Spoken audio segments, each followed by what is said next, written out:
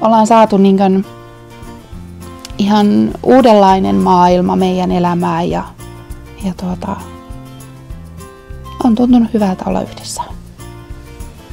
No mä sanoisin semmoiselle vanhemmalle, että oo rohkea.